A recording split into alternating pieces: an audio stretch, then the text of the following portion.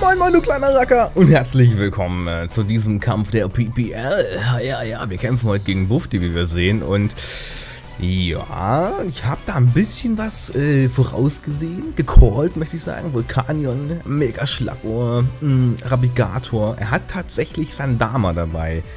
Oh, oh, oh, oh, oh, da müssen wir ein bisschen aufpassen. Er hat Rabigator und Sandama, beides können unsere Strategie zunichte machen, dass wir ähm, den Set Stromstoß out äh, dingsen können. Aber das sieht erstmal ganz in Ordnung aus. Womit wird er leaden, ist die Frage. Rabigato und Sandama können beide die Tarnsteine legen. Empoleon theoretisch auch. Sandama kann den Turbo-Dreher auf jeden Fall auch. Womit werden wir leaden? Das ist jetzt die Frage. Wir könnten mit Elbato leaden, können dann aber nicht viel gegen zum Beispiel Sandama machen. Wir könnten mit Pixie leaden. Wir könnten mit Pixie leaden. Wollen wir mit, wollen wir mit Pixie leaden? Es könnte natürlich Mega Schlappohr aufkommen zuerst, um den Mogelhieb zu droppen. Aber das wäre nicht so schlimm. Wir leaden mit Pixie. Ich schreibe mir dann noch schnell die Pokémon auf, die er so hat. Wir haben da zum Beispiel Sandama. So, Rabigator. Schlappohr. Geht gleich los, Leute. Schlappohr, Empoleon.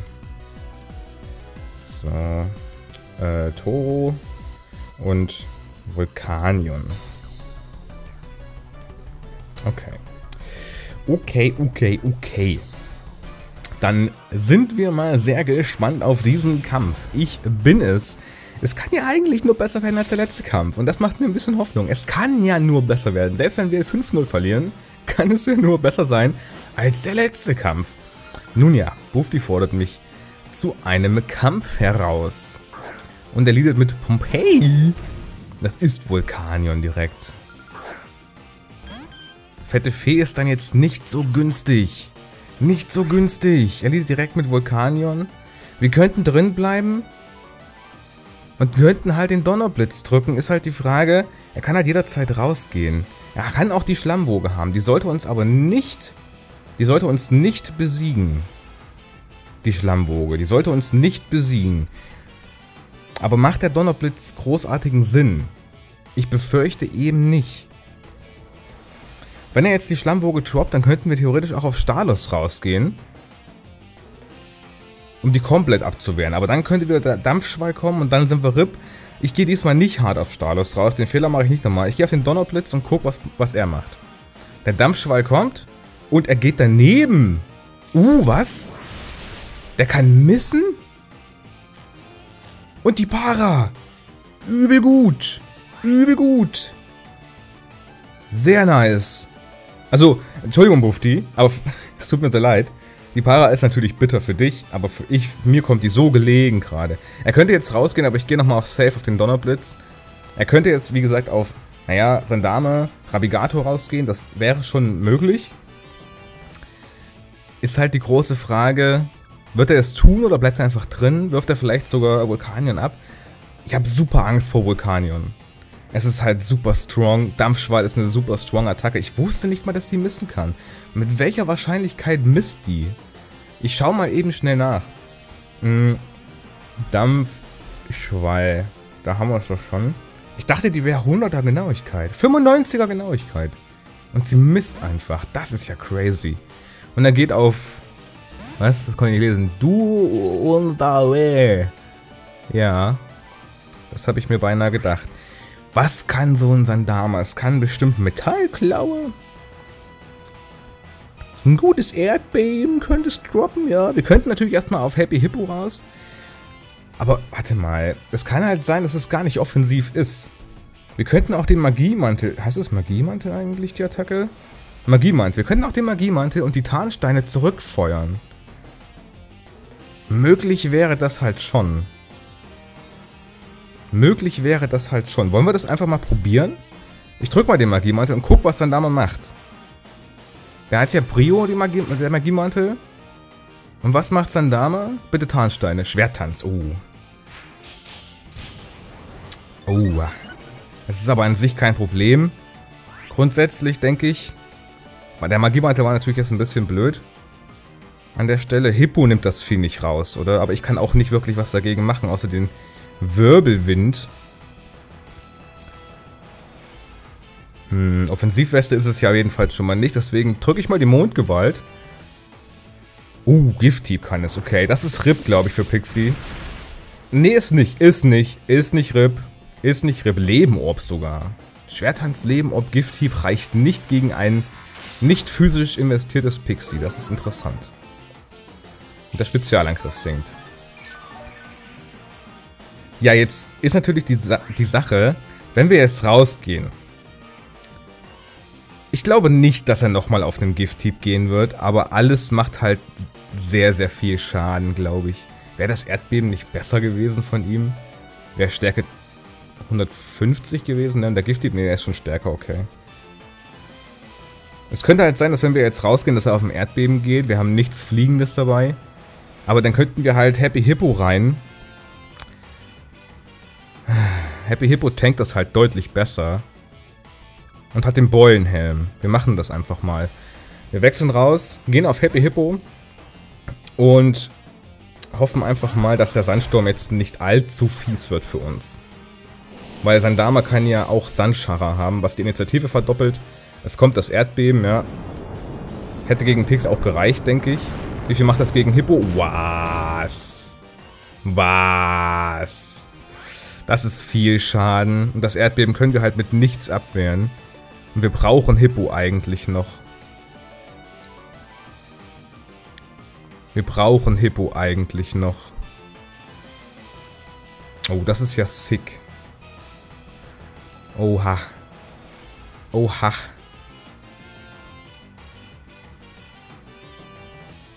Was jetzt? Wirbelwind hat leider Minus-Prio, keine Plus-Prio. Wir brauchen Hippo noch, oder? Aber wo, ja, gegen Schlappohr wäre es halt so gut. Aber wirklich super wichtig ist es, glaube ich, nicht. Wollen wir es abwerfen, Hippo? Wir können halt eh nicht großartig was machen. Ich drücke mal auf den Erdbeben. Ähm, Erdbeben misst halt auch nicht. Ne? Jetzt ist die Frage, wie schnell ist ein Sandama? Wie schnell ist ein Sandame? Maximal. Sandame. Hm, maximal 128, verdoppelt sind 260. Ja, das ist ja gar nicht mal so günstig. Also ich habe ja die Brio mit Frechdachs, die Eisbrio, von daher mache ich mir da keine Gedanken. Habe ich noch eine Prio eigentlich? Nein, oder? Ich habe sonst keine Prio weiter. Nee, nee. Okay. Dann, äh, La Frechdachs. Ich weiß nicht, ob Sandama eine Prio hat. Ich glaube, nein. So, wenn wir jetzt auf den Eissplitter gehen, könnte er halt easy peasy zum Beispiel auf Empoleon raus. Gegen Empoleon können wir allgemein nichts machen. Aber wir müssen eigentlich den safen Eissplitter, damit er stirbt, ne? Weil wenn er doch nicht rauswechselt und safe gehen will, oder wenn er das Risiko eingehen will, sagen wir es mal so, wenn er das Risiko eingehen will, dann bleibt er halt drin, drückt ein Erdbeben und ist schneller als ich. Deswegen ist Eissplitter unsere einzige Möglichkeit. Und das weiß er zwar auch, und ich glaube auch, dass er rauswechseln wird auf Empoleon oder so, aber ich glaube, also ich will einfach sicher gehen, dass er jetzt nicht drin bleibt und das äh, riskiert. Ich habe es übrigens auch beachtet. Vielen Dank für den Hinweis in den Kommentaren. Ich hab, oh, er bleibt drin. Na Gott sei Dank haben wir den Eissplitter genommen. Gott sei Dank haben wir den Eissplitter genommen. Damit ist dann Dame raus. Seht ihr, was ich meine? Lieber auf Nummer sicher gehen an der Stelle. Das hätte auch böse nach hinten losgehen können. Das hätte ganz, ganz böse nach hinten losgehen können. Okay, Suki kommt rein. Suki ist Schlappohr. Schlappohr ist sick. Schlappohr wird den Mogelhieb drücken eventuell. Wir könnten daher jetzt... Ja, wir können ja nicht mehr auf Happy Hippo raus, ne? Wir können ja nicht mehr auf Happy Hippo raus. Und wir, wird er den Mogelhieb drücken? Wahrscheinlich schon. Wobei es halt eigentlich kein Play ist, oder? Es ist auf jeden Fall nach der Mega viel schneller als wir und wird uns damit halt safe rausnehmen. Wir können nicht drinne bleiben, es macht keinen Sinn. Aber der geht nicht auf einen... Ver nee, es macht viel, viel mehr Sinn ähm, für ihn jetzt zu sagen, dass er auf einen Turmkick oder ähnliches geht. Der kann müssen. Aber jetzt ist halt die Frage, der müsste halt nie eigentlich. Das Vieh hat wahrscheinlich die starke Rückkehr, den Mogelhieb, den Turmkick. Was spielt man noch auf Schlappohr? Ich weiß es gar nicht. Vielleicht kann es auch ein Uplight-Hieb oder sowas, das noch so mit, oder irgendein Coverage-Move noch, ich weiß es nicht. Wir könnten halt auf Schwengel rausgehen, aber das wird halt, wenn er auf den Turmkick geht, unfassbaren Schaden machen. Also unfassbaren Schaden. Wir könnten auf die fette Fee. Wir könnten auf die fette Fee. Aber bringt uns das was? Ja, ich... Ja, ich gehe auf die fette Fee raus, glaube ich. Ah, ich weiß nicht, ob uns das was bringt, jetzt die fette Fee abzuwerfen an der Stelle. Wenn er jetzt auf den Turmkick geht, dann ist fette Fee wahrscheinlich, auch wenn es nicht sehr effektiv ist, RIP. Aber danach können wir halt auch nichts weiter machen. Ne? Ach, deswegen hat der Giflieb so wenig Schaden gemacht. Ich habe ja Dings. Ich habe ja Dingens. Hier. Ich habe ja äh, Unkenntnis. Ach, goddamn, stimmt. Ach, das ist ja witzig. ah, das habe ich ja ganz vergessen. Ich hätte mit Pixie halt gar keine Sorgen machen müssen, so. Im ersten Moment. Okay, wir könnten jetzt halt... Ist jetzt halt die Frage, er wird jetzt ziemlich sicher auf eine Rückkehr gehen. Wird er auf eine Rückkehr gehen oder geht er auf einen Turmkick? Weil wenn er auf einen Turm, äh, wenn er auf eine Rückkehr geht, könnten wir halt auch, auch Stalos raus. Das macht Stalos keinen Schaden, glaube ich. Mit dem Turmkick dann macht es halt enormen Schaden. Das Vieh hat halt echt einen straighten Angriff. Deswegen glaube ich, bleibe ich lieber drin und gehe dann auf Starmie. Oder? Das macht schon, das macht schon Sinn, oder? Ich gehe auf Wunschtraum, nur falls Nochmal Steigerungssieb. Okay, das ist in Ordnung für mich. So, wir sprechen den Wunschtraum aus. Vielleicht denkt er halt, dass ich jetzt auf einen Dings gehe, auf ein Schutzschild. Und ich drücke auf die... Ja, ich könnte halt auch rausgehen jetzt, ne? Und safe irgendwas reinbringen. Wie zum Beispiel Sternburger. Wobei, wenn er jetzt halt eben... Wenn er jetzt halt eben... Er kennt jetzt alle Moves, oder? Er kennt Mondgewalt, Wunschtraum. Er weiß, dass ich nicht auf ein Schutzschild gehen kann und wird mich jetzt rausnehmen wollen. Wenn er aufmerksam war, dann weiß er das. Wir kennen bisher nur den Steigerungstipp und der macht sehr effektiven Schaden auf plus 2 gegen Schwengel, das wollen wir nicht. Wir könnten es aber outspeeden mit Starmie dann, deswegen bleibe ich einfach riskanterweise drin, hoffe, dass er irgendeinen Scheiß baut und nicht aufmerksam war und ich gehe auf die Mondgewalt. Rückkehr kommt, okay. Ja, da hätten wir auf Stalos gehen können, aber gut. Na gut, dann geht der Dings jetzt ins Leere leider. Wir könnten ihm jetzt präsentieren, dass ich einen Wahlschal habe auf äh, Sternburg. Eventuell mache ich das auch einfach.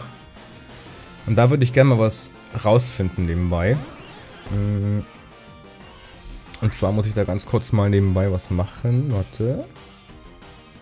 Ähm, hier. Hier. Dann ganz kurz nur. Wie heißt das Vieh? So, ne? Genau. Machen wir mal so. Hier haben wir... Äh, das hier. Dann haben wir hier... Moment, ist jetzt ein bisschen blöd, ich weiß. Aber das, äh... Ja, hm. Es ist halt schwierig jetzt. Das Vieh kann uns halt... Ich weiß halt nicht, ob er drin bleiben wird. Wir haben die Psychokinese. Er kann den Ruckzuck-Hieb haben. Die Psychokinese kann halt von Ravigato easy abgewehrt werden. Das ist halt das Ding. Ich gehe trotzdem auf die Psychokinese, glaube ich. Wir outspeeden ist safe. Ja, er bleibt drin, sehr gut. Und die Psychokinese reicht locker flockig. Ja. Damit ist Schlappohr auch raus. Auch ein sehr gefährliches Mon. Ein sehr, sehr gefährliches Mon. Unsere Defensiven sind an der Stelle einfach RIP. Ne? Also beide defensive Mons sind tot. Sowohl speziell als auch das physische. Puh, aber der Kampf läuft doch schon ein Stück weit besser als der letzte. Das ist doch schon mal ganz nett.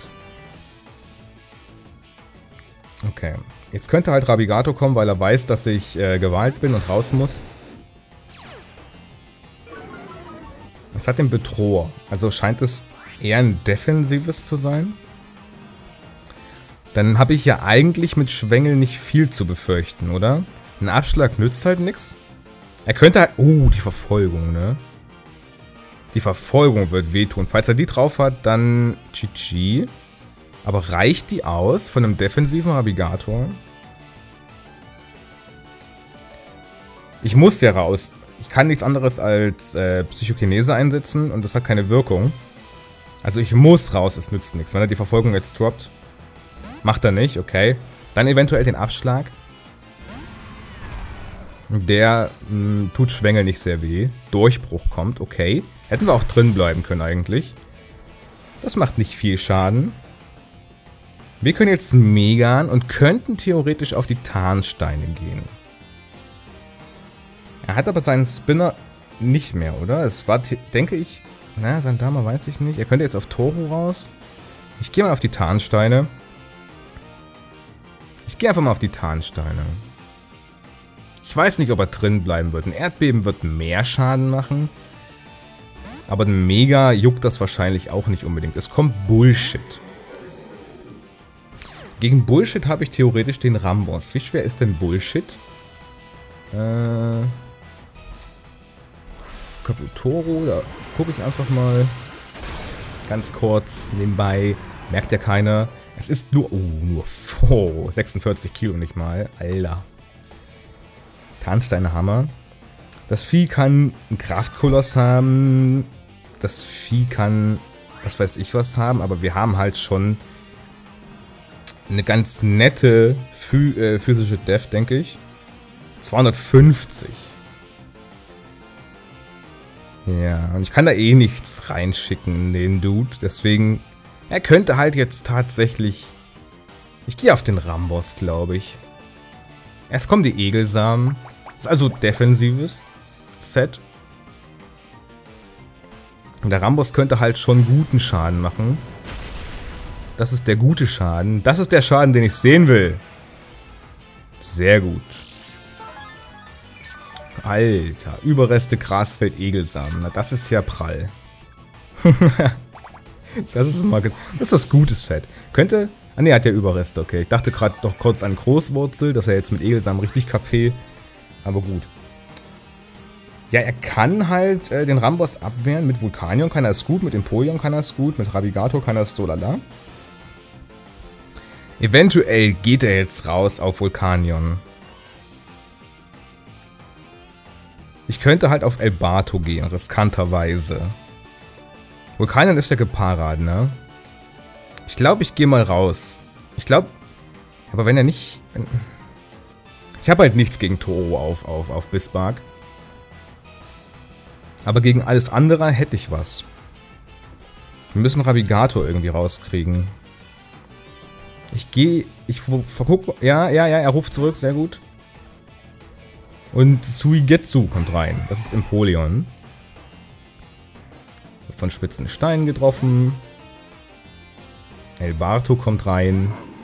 Und eventuell denkt er jetzt, ich muss wieder raus, weil Elbarto nichts dagegen kann. Ähm, ich möchte ganz gern vielleicht ganz kurz ein Schutzschild drücken, um zu gucken, was er macht. Das werde ich auch tun. Ich drücke auf das Schutzschild und gucke, was er macht. Vielleicht die Tarnsteine legen auch. Kann sein. Kann seine spezielle Defensive sein, theoretisch. Mal gucken. Siedewasser. Kann halt burnen, ne? Vulkanion ist schon angedamaged. Vulkanion mache ich mir keine großen Sorgen drum. Er bleibt ja anscheinend drin, deswegen gehe ich jetzt auf den Z-Stromstoß. Bin schneller auf jeden Fall auch. Sehr gut. Der Z-Stromstoß kommt. Er reicht gegen den Vulkanion aus und sollte auch gegen den Empoleon ausreichen. Vor allem da es eher offensiv scheint. Bin ich sehr, sehr gespannt, ob das klappt. Das wäre Hype, wenn das jetzt sterben würde einfach. Das wäre der Todeshype. Es reicht nicht ganz, okay. Siedewasser kommt und burnt hoffentlich nicht. Nee. Ich bin schneller. Ich werde jetzt auf den Kraftkoloss gehen. Er könnte natürlich jetzt in Toro rein, das wäre aber riskant. Er könnte auch in Rabigato, um den Stromstoß again abzuwehren. Er könnte auch, na Vulkanion glaube ich nicht.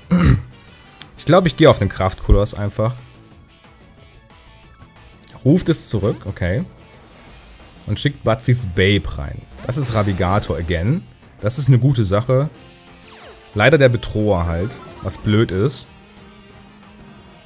Aber der Kraftkoloss dürfte schon wehtun. Ja, der tut weh. Jetzt auf minus 2. Aber der nächste sollte reichen. Navigator könnte zwar schneller sein. Navigator wird schneller sein, oder? Ziemlich sicher. Er könnte jetzt wieder rausgehen und sagen, jo, ich halte mir, behalte mir Navigator noch ein bisschen offen, aber macht das Sinn? Ich gehe nochmal auf einen Kraftkoloss, glaube ich. Es kommt ein Erdbeben. Wird das schon ausreichen? Physische Death ist halt gut. Ja, leider ja. Na gut. Okay. Okay, okay, okay. Dann habe ich ja mit Sternburger eigentlich nichts mehr zu befürchten, oder? Und könnte damit... Ja, nee. Ganz so einfach ist es dann doch nicht. Ich könnte auf Frechdachs gehen oder auf Schwengel. Frechdachs sollte es halt locker outspeeden. Vorhin hat er Durchbruch eingesetzt und ist dann raus, ne? Hat das vielleicht sogar einen Wahlschal? Jetzt hat er Erdbeben eingesetzt. Könnte das einen Wahlschal haben? Ich meine, ich outspeede mit Stami halt. Aber das Riskante ist... Ja gut, ich könnte halt schon den Eisstrahl drücken. Das wäre zumindest okay. Das wäre zumindest okay. Ich, ich, ich schicke Stami rein. Auf Stami haben wir auch nochmal den Donnerblitz für Vulkanion. Das ist in Ordnung. Ich drücke den Eisstrahl. Das sollte reichen. Gegen das Vieh. Und ich sollte schneller sein als das Vieh. Kann es sein, dass er rausgeht jetzt? Wird er rausgehen? Es ist wahrscheinlich... Ich weiß halt nicht, ob das Vieh einen Wahlschall trägt. Es hat nur einen Move eingesetzt und ist dann raus. War ähm, wusste ich nicht, ob es schneller ist oder nicht. Ist auch egal. Jetzt hat es auch wieder nur einen Move eingesetzt. Erdbeben. Von daher kann ich es nicht wissen. Ich gehe auf Eisstrahl. Er, er geht raus, ja, okay. Ich wollte schon sagen, er bleibt drin. Und Bullshit kommt in den Kampf. Dash ist okay, der Eisstrahl wird töten, safe. Dann wirft der Bulu jetzt ab, holt nochmal das Grasfeld raus, das ist okay. Und dann wird jetzt Vulkanion in den Kampf kommen, schätzungsweise. Und da weiß ich halt gar nicht, was ich gegen machen soll, so recht.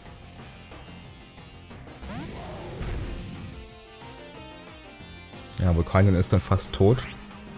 Vulkanion könnte halt wird das ein Wahlschall tragen? Ich glaube bald nicht, oder? Ja, Frechdachs könnte ich noch brauchen. Das würde ich jetzt ungern reinholen. Dann müsste ich jetzt Schwengel reinholen. Das macht mehr Sinn, glaube ich. Wenn ich Schwengel jetzt reinhole... Ja, machen wir. Ich hole Schwengel rein. Da wird jetzt ein Dampfschwall fressen und sterben daran. Sehr wahrscheinlich. Ich habe es so investiert, dass es einen überleben kann bei vollem KP, aber nicht bei... Also nicht so. so Rabigato lebt aber nach wie vor, was scheiße ist. Wir müssen jetzt Vulkanion rauskriegen irgendwie. Und das wird gar nicht so einfach werden. Ich weiß halt immer noch nicht, was es trägt, aber es ist paralysiert. Es wird nicht mehr schneller sein als... Ich glaube, das konnte Max irgendwie... Wie war das? Was konnte es maximal haben? Ähm. Äh, tut mir leid fürs Nachschauen ständig, aber das ist wichtig. Maximal 134. Ich habe eine Initiative von 160. Seine ist halbiert. 140, 70 plus Wahlschal ist es nicht mehr schneller als Snebuna. Dann kann ich mit Snebuna halt auf den Next Track gehen oder so. Das sollte... Ah, ob das ausreicht? Ah, ob das ausreicht? Ich kann halt nicht safe auf den Donnerblitz gehen mit Starmie, das ist scheiße. Aber ich kann halt den Next Strike drücken und der tut weh. Ist halt mit Lebenorb, vollem Angriff. Der tut schon weh. Ja, ich würde sagen, wir machen das einfach so.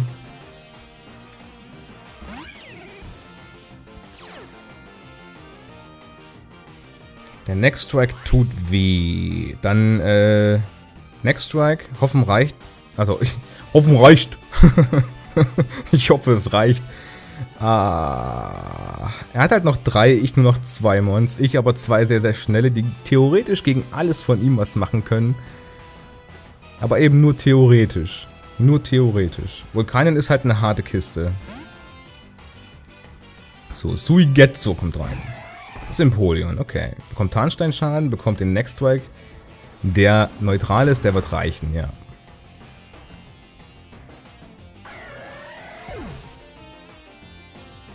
So, okay. Wir bekommen wieder die Leben Orb KP dazu. Das also fast, aber das finde ich gut.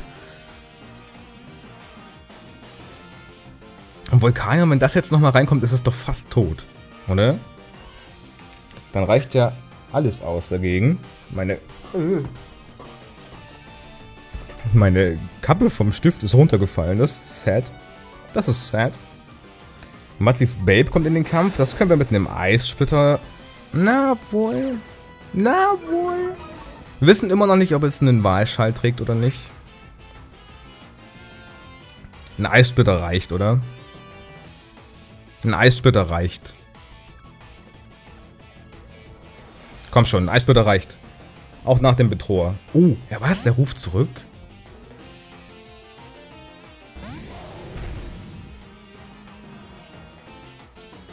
Warum? Weil er Snibunas bedroht... Ah, er will Snibuna downwiggeln möglichst, ja. Also Bedrohermäßig.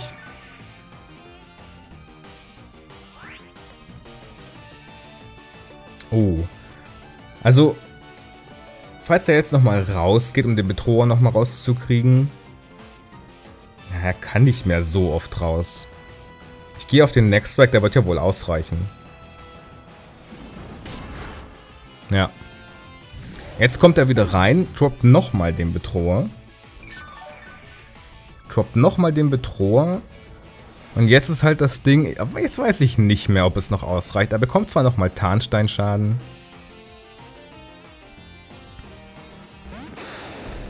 Er ist auch im roten Bereich. Aber ob das ausreicht, weiß ich nicht. Ist halt aber immer noch Leben ob boostet, ne? Also, es könnte schon ausreichen. Ich versuche es. Und dann habe ich ja immer noch Starmie zur Not. Ja, reicht. Perfekt. GG, GG, kleiner Bufti. GG, kleiner Bufti. GG. Das war doch ein schönes Camp. Also es war schon deutlich besser als der letzte Kampf, muss man ja sagen. Es war immer noch kein perfektes Spiel von mir. Aber es war äh, schon deutlich besser. Mhm. Zum Beispiel, dass ich dann äh, mich nicht getraut habe, mit Pixie auf Stalos rauszugehen, als Schlappohr sich geboostet hatte. Das hätte ich machen sollen. Dann hätte ich den Wunschtraum auf Stalos bekommen. Stalos war wieder so gut wie voll gewesen und ja, ist halt riskant immer. Ist halt immer riskant. Aber ich denke, es war in Ordnung.